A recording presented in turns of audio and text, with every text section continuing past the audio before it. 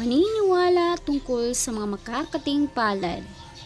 Ang isang pangangati ng palad ay sinimisimbolo na ang pera ay darating sa iyo at ang isa pa na ang pera ay kailangang bayaran. Sinasabi na iba na may katotohanan ang mga ito. Paano natin mapanatili ang magandang enerhiya sa mga bagay na ating hinahawakan lalo na ang pera? Ang ating mga kamay ay nagbibigay at tumatanggap ng kahit anong bagay, positibo man o negatibo. Sa usapang pera, ito rin ang lalabas at magpapasok para sa ating mga sarili.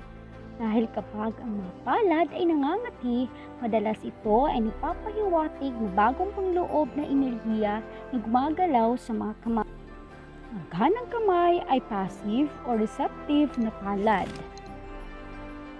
At ang kaliwang palad ay ang aktibong palad, kaya kapag ang kaliwang palad ay nangangati, nangangahulugan ito na bagong enerhiya o mga serbisyo na darating sa iyong buhay na malamang nagagastusan ka ng pera.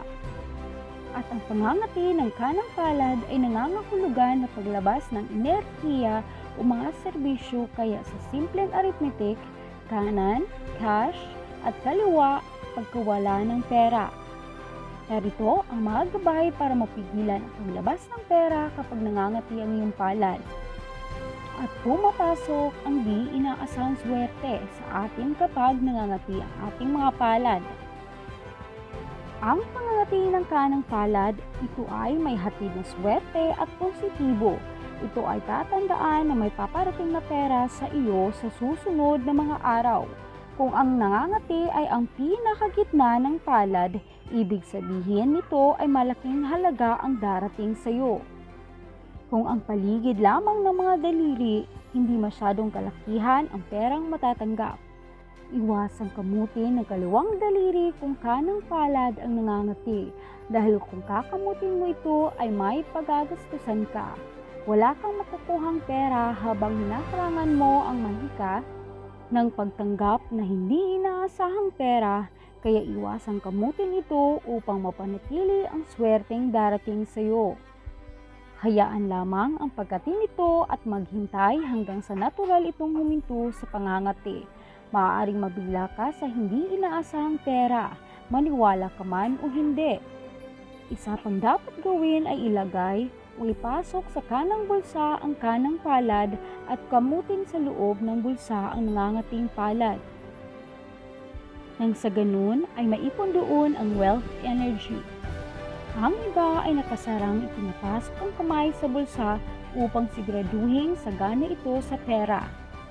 Maaari ring ikuskus mo sa iyong buhok ang nakangating palad para magkakatotoo na makakatanggap ka ng pera at ang iba ay dinuduraan ng laway at ikinukuskus sa balakang. Mayroon namang gumagawa na ikinukuskus ang pera sa palad na makati para magkakatotoo na makakatanggap ng pera. Kung hindi talaga matiis ang pangangati ng iyong palad, ikuskus na lang ang palad sa kahoy na maaaring puno o sa kahoy na mesa o upuan.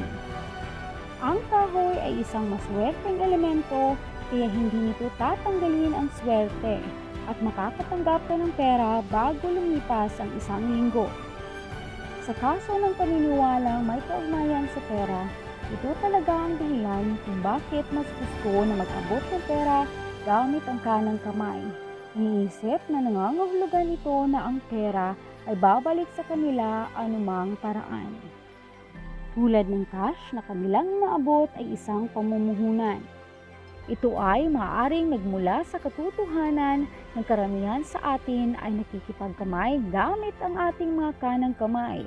Kaya nakikita ito bilang nagpapahiwatig na isang uri ng panglipunang koneksyon. Batay dito, ang pangangati ng iyong kanang kamay ay maaaring magkaroon ng kahulugang kakailanganin mong gamitin ang kamay na iyon para makipagkamay sa isang taong positibo sa iyong buhay. Sinasabi rin na ang iyong kanang kamay ay nakatuon bilang maswerteng kamay dahil ito ang kamay na nag-uugnay sa Diyosa ng kapalaran. Bilang isang kultura, ang pera ay palagi ipinagpalit sa pamamagitan ng kanang kamay. dahil ito ay nagpapahiwatig ng swerte at kayamanan sa hinaharap. Ang mga paniniwalang ito ay nakadepende sa tao kung kanya ba itong paniniwalaan o hindi. Marami na ang napapatunay dito base sa kanilang karanasan at kung isa ka sa naniniwala sa kapangyarihan na positibong pag-iisip o nagpapakita ng partikular na resulta, gayon ang pagkakaroon ng makating kanang palad at pagtitiwala na darating. Ating tandaan na nasa ating kamay pa rin ang sagot ng lahat na nangyayari sa ating buhay, positibo man o negatibo.